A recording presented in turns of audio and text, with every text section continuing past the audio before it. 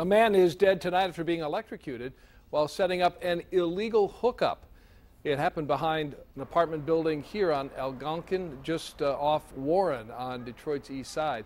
People who live nearby say they heard some crackling and then looked up and saw a man on fire.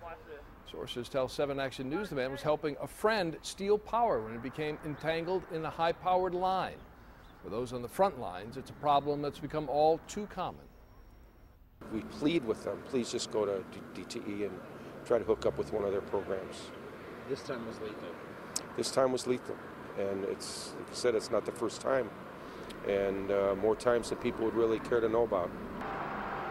DTE responded and immediately cut power to the line so it could be pulled off of the man. We're told the victim is 57 years old and that he was known to some people who live in the area.